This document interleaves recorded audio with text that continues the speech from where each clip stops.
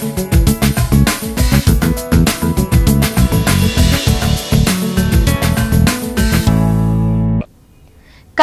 Police commissionerate head క్వార్టర్స్లో police కళా బృందాల ఆధ్వర్యంలో రూపొందించిన చైతన్య కిరణాలు పాటల సీడీ ఆవిష్కరణ కార్యక్రమాన్ని నిర్వహించారు.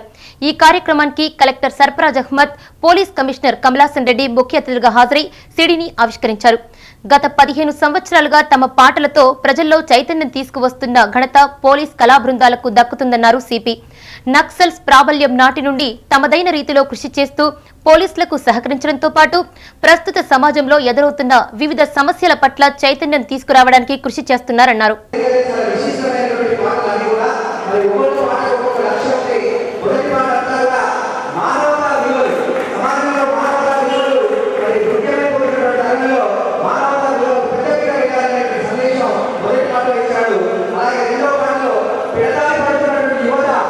జాగ్రత్తగా సమాజంలో ఒక పౌరులు ఎదగాలి దేశ వనరులు ఎదగాలి యువత మరి తిరుమలలో పోకూడదనేటువంటి సందేశం ఉంది.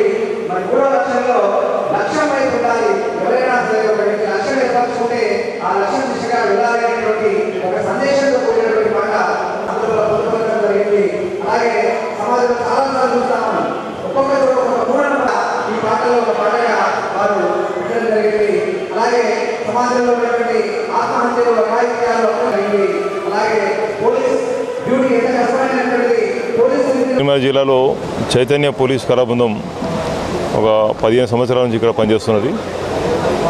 గతంలో నక్సలైట్ల ప్రాబల్యం ఉన్నటువంటి రోజుల్లో ప్రజలను నక్సలైట్ల నుంచి మరి వారిని విడదీసి మరి ప్రభుత్వానికి అనుకూలంగా మార్చడానికి ప్రజల్లో ఒక మార్పు తీసుకురావడానికి చైతన్య కళాబృందం విశేషంగా కృషి చేసింది.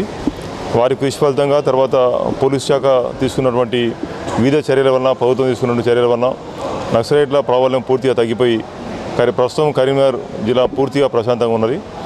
మరి ఈ చైతన్య కళాబృందం సేవలను మరి మారు మారినటువంటి పరిస్థితులకు అనుగుణంగా ప్రజల్లో ఒక చైతన్యం తీసుకురావడానికి వివిధ అంశాల మీద చైతన్యం తీసుకురావడానికి ముఖ్యంగా మూఢనమ్మకాలు అంటరానితనం స్త్రీల పట్ల వివక్ష రోడ్డు ప్రమాదాలు హాకై అప్లికేషన్ సీసీ కెమెరాల ఏర్పాటు తర్వాత ఇటువంటి చాలా అంశాల మీద మరి చైతన్య కళాబృందం ప్రోగ్రాంను వారి సేవలను మేము విశేషంగా ఉపయోగించుకుంటున్నాము. అన్ని గ్రామాల గ్రామీణ ప్రాంతాల్లో ఒక ప్రజల్లో ఒక మార్పును తీసుకురావడానికి ప్రజల్లో ఒక చైతన్యం తీసుకురావడానికి వారి సేవలను ఉపయోగించుకోవడం జరుగుతున్నది.